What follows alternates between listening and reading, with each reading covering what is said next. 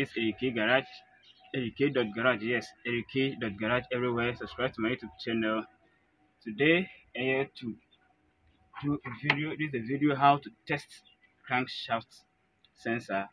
This sensor is for Equinox, and this sensor for KRA. You have to test it with multimeter. You're going to check the ohms, the resistance of it. So here we go. Take your multimeter here and set your meter to 20 k ohms. Set your multimeter to ohms you check the reading of it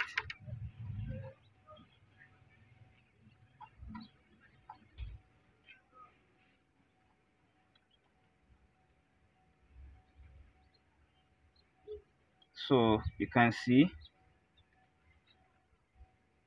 is 1.28 thousand. So if it is 1.28 thousand is from 200 to 1000 is good. So this one is good. This for Equinox is good. And then so this one you have three pins inside. Three pins inside. One two three.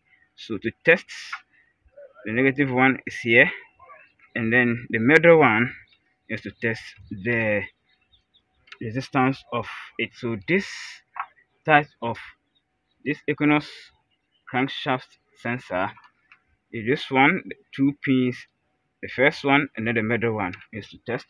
And then here let's go again of this one. Here is 0.85 so this one too is good. Yes this one too is good. And I'm about to change our multimeter to this one.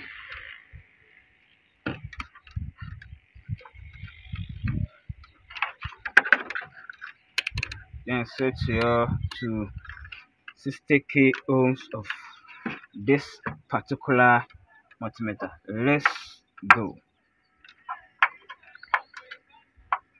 so take your measurement here. First pin and then the middle one.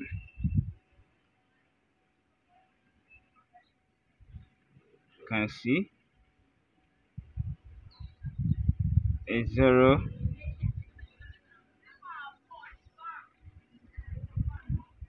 A zero one point twenty nine.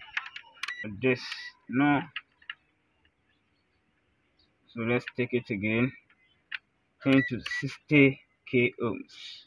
Yes. 60 k ohms. Fits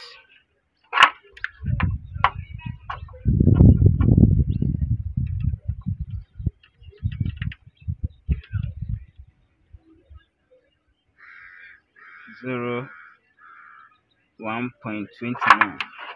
So this is the Equinox 3 pin and this is carry this for carry 2 pin so this is how used to check the resistance of this sensors using multimeter. Yes using multimeter to do that.